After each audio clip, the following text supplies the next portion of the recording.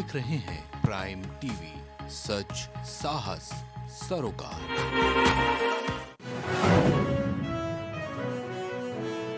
जातिवार जनगणना के लिए 27 सितंबर से राजभर शुरू करेंगे सावधान यात्रा, पचहत्तर जिलों से होकर पहुँचेंगे Bihar.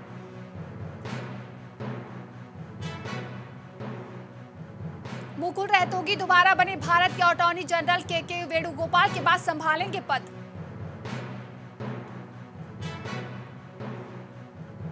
Electric scooter recharge unit से फैली आग, दम घुटने से कई मौतें, कई लोग खिड़की से कूदे।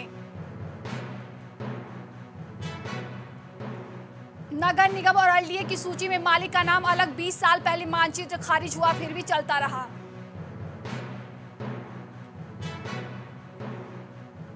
मथुरा में तीसरी बच्ची जन्मी तो पिता सोचा समाज क्या कहेगा, बेटी को जहर खिलाकर तालाब में फेंका।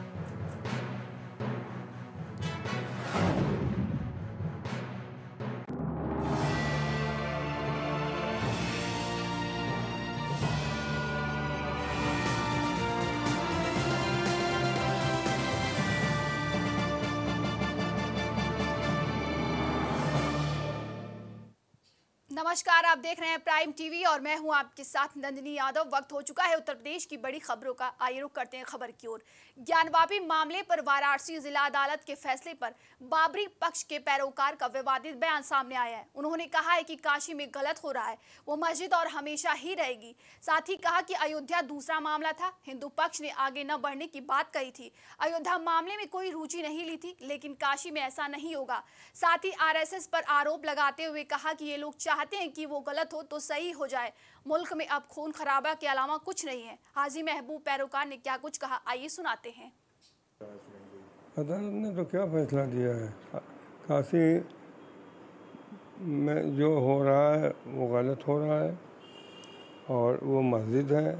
मस्जिद का क़यामत रहेगी और हम वहाँ फैसले से नहीं पड़ जाएँगे देखेंगे जब तक क्या होता है।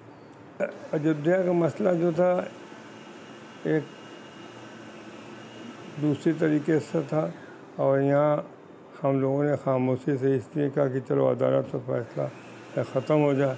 उन्होंने कहा, अब हम आगे नहीं बढ़ेंगे। इसलिए अयोध्या के मसले में हम लोगों ने कोई इंटरेस्ट नहीं लिया। अगर वहाँ ऐसा हुआ तो वहाँ बहुत बुरा होगा। के लोहिया नगर इलाके में एक डॉक्टर को विदेशी नंबर से सरतन जुदा करने की धमकी मिली है, जिसके बाद पीड़ित ने पुलिस को मामले की जानकारी देते हुए एफआईआर दर्ज कराई। साथ ही आरोपियों के खिलाफ सख्त कानूनी कार्रवाई की मांग भी की है। एक सितंबर के रात में मेरे पास कॉल आया है, व्हाट्सएप कॉल है। जैसा कि साइबर सेल वाले बता रहे हैं, क्राइम ब्रांच वाले, कि ये यूएसए का न्यू जर्सी का कोई नंबर है प्लस वन से। फाइव फाइव वन है उनका, जो भी है कोड है।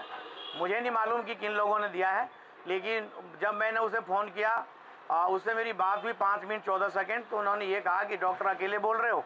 मैंने कहा, जी, बोल रहा हूँ। कि बोला कि कि तुम्हें जो है कन्हैया कुमार और डॉक्टर उमेश के पास भेजना है। मैंने कहा, बात क्या भाई?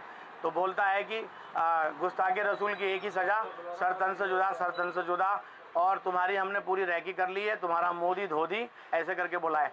मोदी धोधी योगी और यति नरसिंहानंद जो तेरा गुरु है, ये अपने बिल में दुबका पड़ा, तेरे को नहीं बचा पाएगा, तू बहुत हिंदू संगठन की बात करता है तेरी सारी रैकी मैंने कर ली है। मैंने कहा फिर कि, बताओ, मैं कहाँ बैठा हूँ अभी? तो बोलता है कि, तू जहाँ भी बैठा, हमें सब पता है। इस तरह के गोरखपुर में गांधी प्रतिमा के नीचे पिछले 12 दिनों से दर्जनों लोगों ने धरना दिया है। आपको बता दें कि ये लोग पाँच परिवार से जुड़े हुए हैं। दरअसल प्रशासन ने दुकानदारों को अतिक्रमण हटाने के लिए नोटिस दिया था, जिसके बाद प्रशासन ने दुकानों को तोड़ना शुरू कर दिया, जिस पर दुकान टूटने के बाद दुकानदारों ने प्रशासन पर पक्षपात का आरोप लगाते हुए धरना दिया है। हम लोग धरने पर बैठे हैं। मामला यह सर, हमारी दुकान है वहाँ। पचास साठ बरसों से हमारे बाबा भी पालिश लगाते थे, हमारे पिताजी भी लगाते हैं और हम भी लगाते हैं। कौड़ी राम गोला रोड पे। फिर सर, हमको पीडब्ल्यूडी भी ने नोटिस दिया, रोडवेज़ विभाग ने नोटिस दिया। हमारे दुकान के पीछे रोडवेज़ की बाउंड्री है।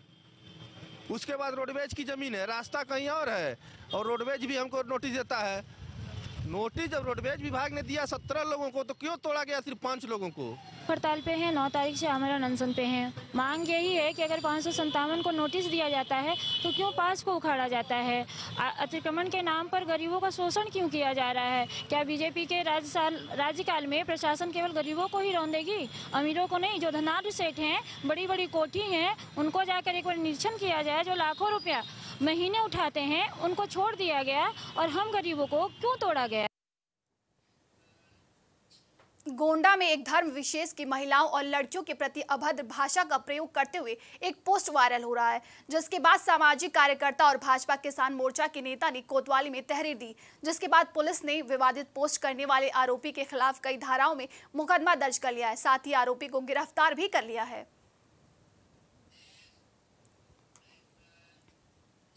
मथुरा के महावन तहसील में महिलाओं का एक लेखपाल की पिटाई करते हुए वीडियो जमकर वायरल हो रहा है, जिस पर महिलाओं ने पूछताछ में बताया कि लेखपाल ने ज़मीन की पैमाइश गलत कर दी थी, जिसके बाद दोबारा कहने पर लेखपाल ने बात अनसुनी कर दी। किसान तहसील के चक्कर लगाते रहे, लेकिन पैमाइशी नहीं की गई।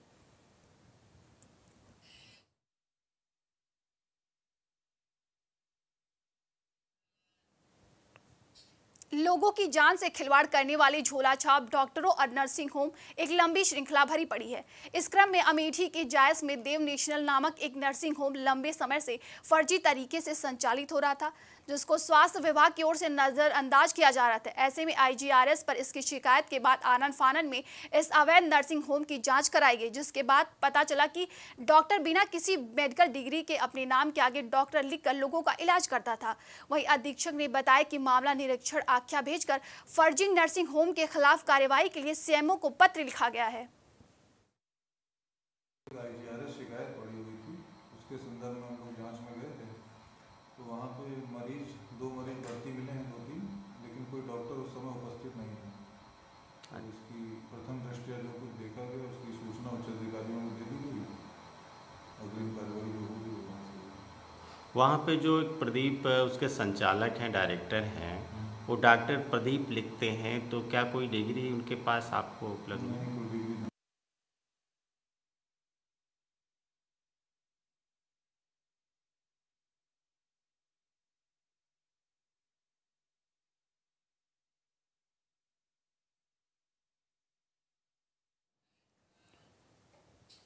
चंदौली के इंडियन ओवरसीज बैंक में खाते में नगद जमा करने आए व्यक्ति से उच्चागिरी का मामला सामने आया। आपको बता दें कि फुटकर कराने के बहाने चोर युवक के सोलह हज़ार लेकर भाग गए। वहीं बैंक में सुरक्षा के लिए तैनात पुलिसकर्मी मूक दर्शक बनी रही।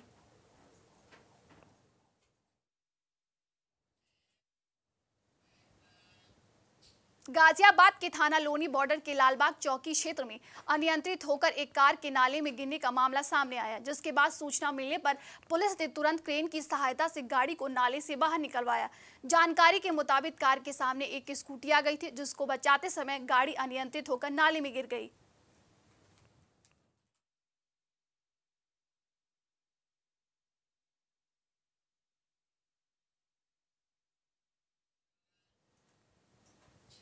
फ़िलहाल के लिए उत्तर प्रदेश की खबरों में बस इतना ही। देश दुनिया की तमाम खबरों के लिए देखते रहिए प्राइम टीवी